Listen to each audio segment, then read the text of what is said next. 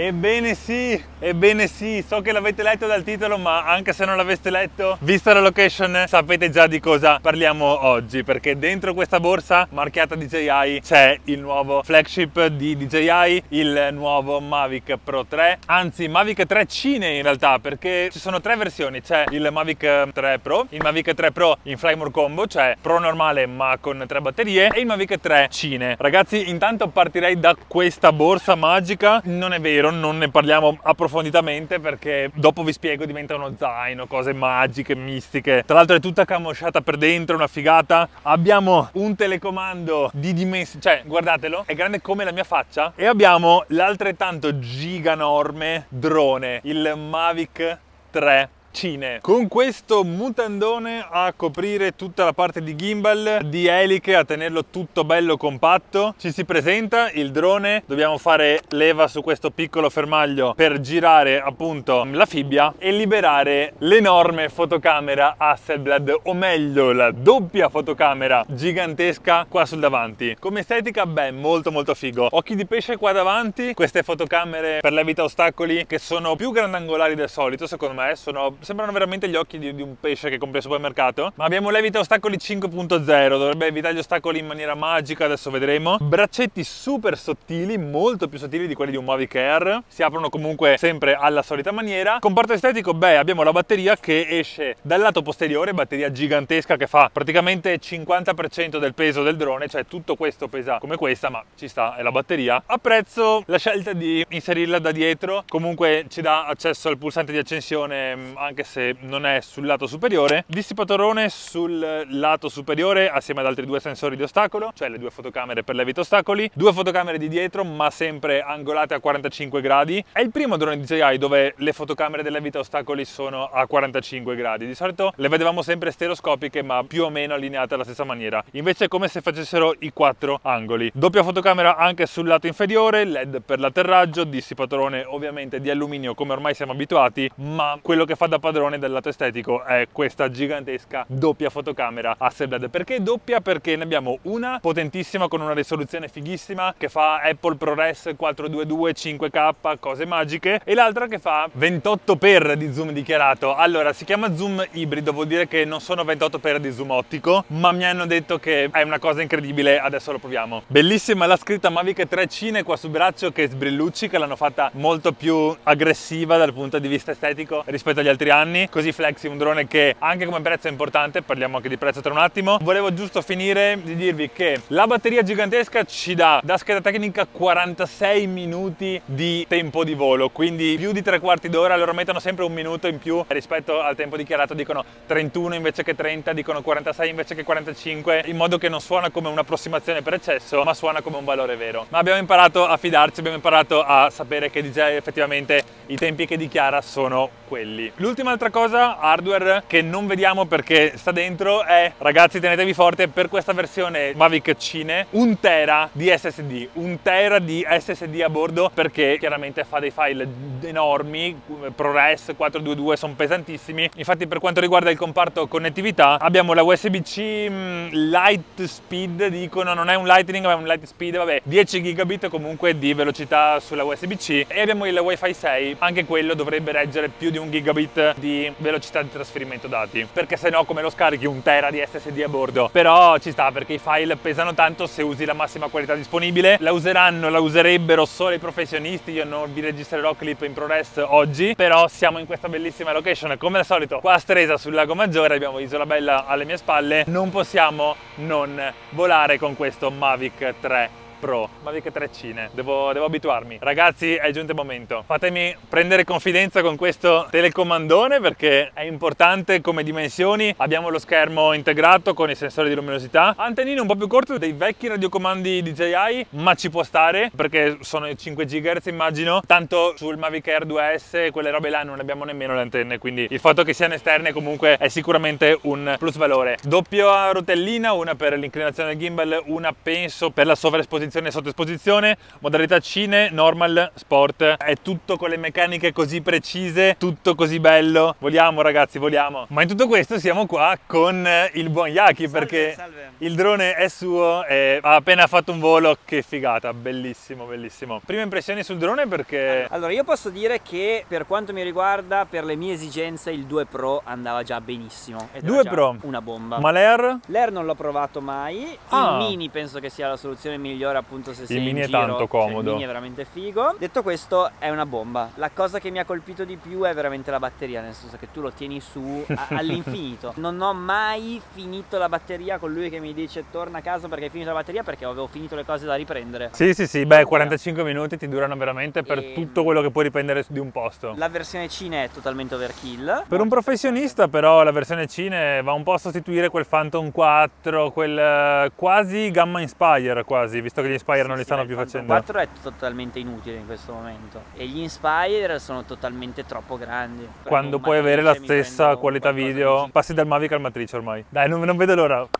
Voliamo, via, altra batteria. Ma mi inserisco un attimo qua in mezzo perché questo segmento è sponsorizzato da Cabbit. Ve lo ricordate? Quello storage, quel coso nero a forma esagonale, storage distribuito tutto quanto? No, non ve lo ricordate? Lasciate che ve ne ricordi io. Cos'è Cabbit? È uno storage distribuito in cloud, tra virgolette, solo che non c'è un cloud centralizzato, ma è appunto distribuito. I tuoi file sono spezzettati con la dovuta ridondanza dei vari pezzettini in modo che si possano ricostruire, criptati e piazzati dei piccoli pezzettini in tanti cabbit di tanti utenti diversi. Questo è geniale perché è super disaster proof, cioè è a prova di apocalisse, cioè succede qualcosa in un posto, non so, prendono fuoco i server di Dropbox, se tutti i dati sono in un posto solo, quei dati vengono distrutti, ma se i dati sono sparpagliati in tanti posti diversi e ce ne sono anche più copie, in modo che comunque se un po' di queste copie vengono distrutte, il tuo file si ricostruisce tranquillamente, i dati diventano super resilienti a qualsiasi tipo di sfiga possa capitargli. Ma non solo questo, per il fatto di comunque comprare un dispositivo hardware, connetterlo e anche se i tuoi file non sono lì, tu hai comunque comprato un hard disk, Cabit funziona a one time payment, cioè tu compri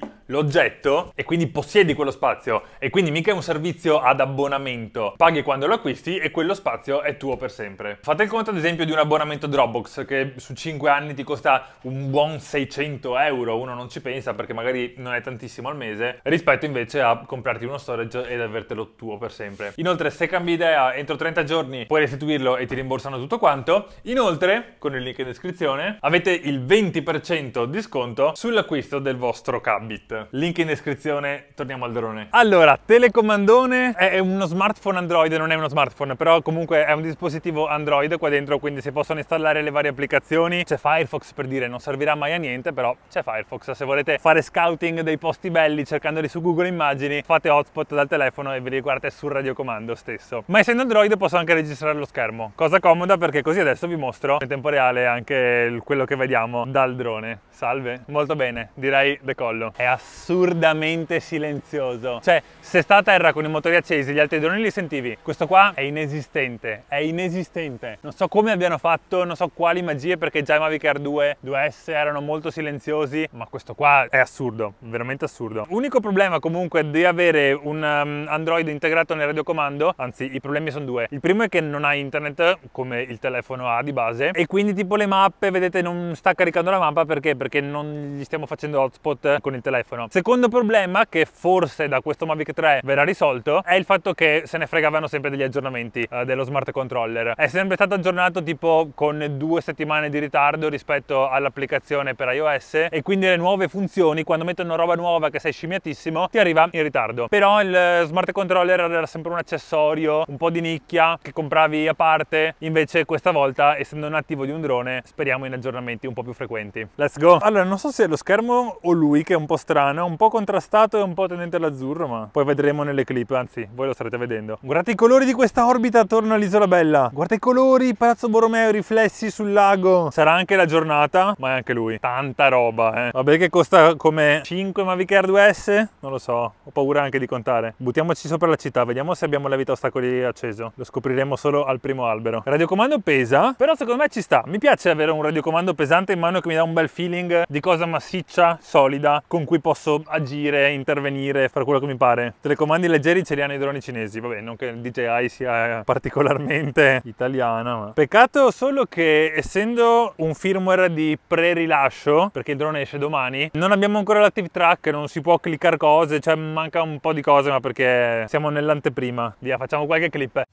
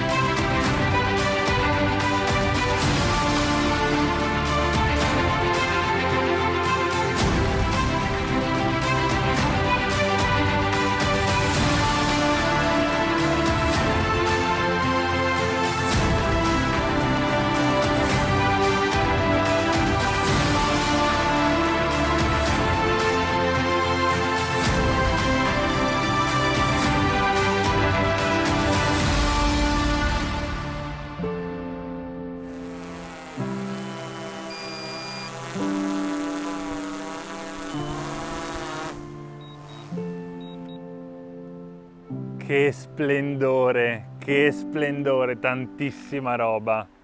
In teoria se è come il Mavic Air 2 americano, del quale avevo visto video, ma anche il 2S sicuramente, dal transponder degli aerei ADSB prende solo le informazioni GPS sulla posizione, non sull'altitudine, quindi ti avverte anche se passa un aereo molto alto. Ce n'è uno là sopra, in alto in alto. Questo noi siamo qua e lui è là. Guardalo, si vede qualcosa, c'è riflesso. C'è proprio il disegnino dell'aereo che passa, guardalo lì. Allora, pranzato, purtroppo l'inverno vuol dire il sole che va giù troppo troppo presto. Quello che non vi ho mostrato prima è che figata sia questa borsa che diventa uno zaino. Allora, una volta sganciato questo, noi apriamo qua le cerniere, bretelline, si aggancia qua sotto, comunque diventa uno zaino. Ah, Figo. queste qua si girano all'indietro, si girano all'indietro. Ah, così è anche bello perché ha la Sì, sì, copertura.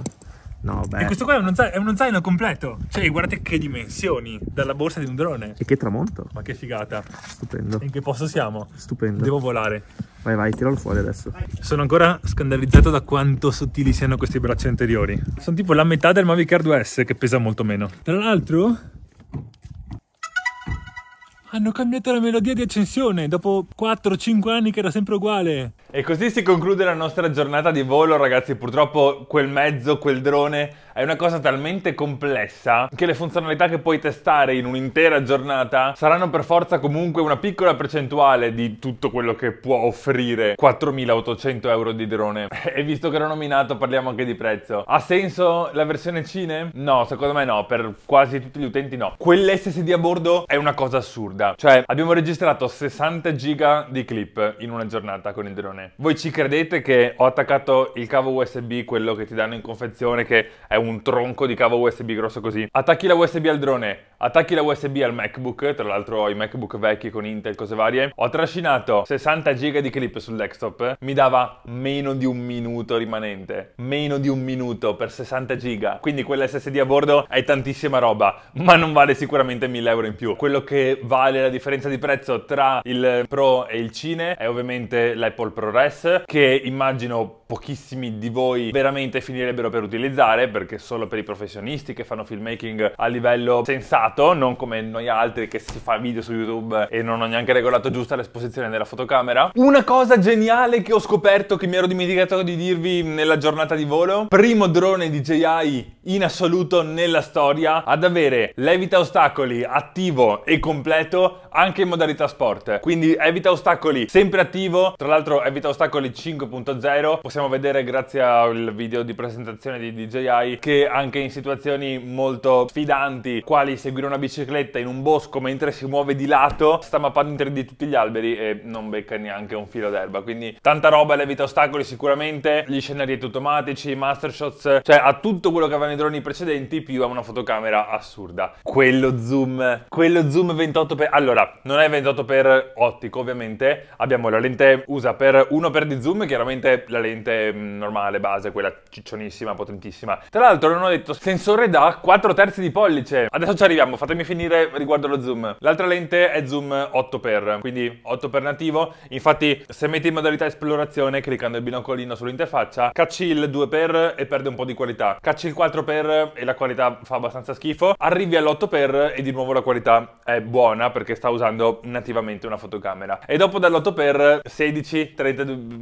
zoom all'infinito. Cioè ci sono veramente delle situazioni, guardate qui come stiamo vedendo quell'orologio, ok non benissimo, questa modalità non è fatta per fare riprese e avere video utilizzabili, è fatta per scouting, per scoprire le location, per, per mappare. Non solo se sei un videomaker che magari vai a vedere il posto bello per filmare e lo vedi già da lontano, ma anche se sei un search and rescue, pompieri, protezione civile, soccorso valanghe, qualsiasi cosa abbia bisogno di vedere da lontano, quello zoom è una bomba. Guardate come vediamo questo campanile da vicino, guardate quanto lontano era il drone. In questa situazione invece noi eravamo sul molo qua di mm, questo laghetto e vi giuro, eravamo in quattro persone in totale silenzio, non si sentiva il drone, non lo si vedeva, cioè cercavamo con gli occhi, non lo si vedeva, eppure eravamo inquadrati da vicinissimo. Questo è una cosa un po' creepy, fa, fa veramente paura perché non lo senti, non lo vedi, è stranissimo, è stranissimo vederti in terza persona e però non vedere niente che ti sta riprendendo. Però 28 per di zoom è veramente tanto, tanto, tanto, tanto. Come vi dicevo, l'altra magia che DJI è riuscita a compiere è stata cacciare un sensore 4 terzi di pollice dentro un drone, sensore che fa 4K 120 fps, 4K 120 frame al secondo su un drone per fare i mega rallentatori, assurdo. Però anche il fatto di mettere proprio un sensore così grande, cioè non esisteva quel sensore, hanno dovuto inventarselo perché effettivamente quando sono usciti qualche mese fa i primi rumors riguardo un drone DJI con sensore 4 terzi di pollice, c'è molta gente che ha detto no ma normalmente i droni o, o le action cam o qualsiasi roba al mondo ha sensori Sony o Panasonic o altre, vabbè insomma ci sono due o tre produttori che al mondo producono tutti i sensori per tutte le fotocamere che esistono praticamente. E non esisteva un 4 terzi di pollice di quelle dimensioni con quelle prestazioni che permettesse di fare i 5 cioè non esisteva sul mercato, se lo sono dovuto inventare. Quindi per concludere, ha senso comprarlo? Secondo me se vi sta pesando quel dito sul mouse, sul pulsante compra, lasciatelo cadere, fate questo acquisto perché ne vale tanto la pena, cioè è proprio figo come tanta roba come drone e ti dura per anni. È come MacBook Pro, uno dice "Eh, ma troppo potenti questi processori". Certo, ma se ti dura per i prossimi 8 anni, il costo lo spalmi. Quindi, secondo me ci può stare. Se volete fare le riprese della domenica, volete avere un drone per divertirvi e basta così, Mavic Mini 2, cioè fa già tutto quello che serve. Mavic Air 2S o Air 2, in realtà che è ancora valido, sono un'ottima alternativa centrale, ma questo Mavic 3 Pro è tantissima roba. Ragazzi, per questo video è tutto, pollice in su. Ci vediamo di nuovo prima o poi con il Mavic 3 ehm, Pro. Io comprerò un Pro, non il Cine di Yaki.